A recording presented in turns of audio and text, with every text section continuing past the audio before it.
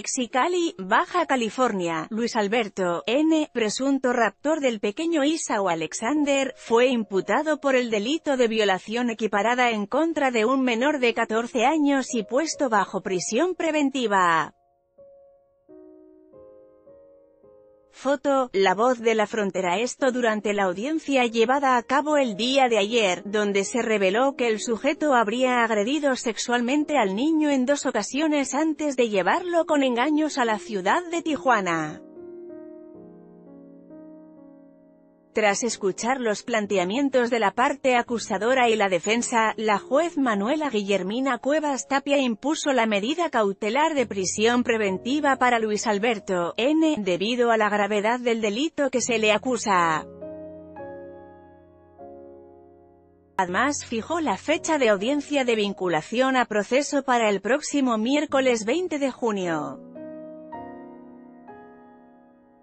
Cabe señalar que la Procuraduría General de Justicia del Estado informó que Luis Alberto N. fue sentenciado a 16 años en prisión en 2005 por el delito de abuso sexual en contra de un menor, sin embargo fue liberado en 2016 por causas que no fueron publicadas.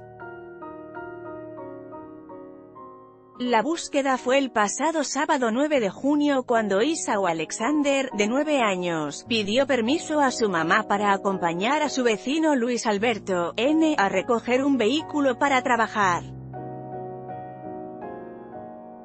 Foto, Z Tijuana era común que estos viajes ocurrieran, pues el niño solía ayudar al hombre en su labor, por lo que la madre no vio nada extraño en la petición y dio permiso a su hijo.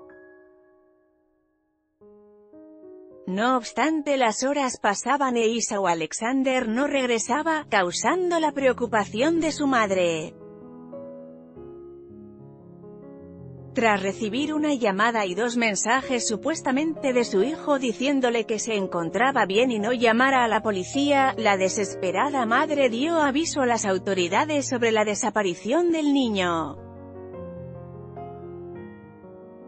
Foto, cortesía tras días de búsqueda e investigaciones, la tarde del miércoles 13 de junio se logró localizar a Luis Alberto e Isao Alexander en la ciudad de Tijuana.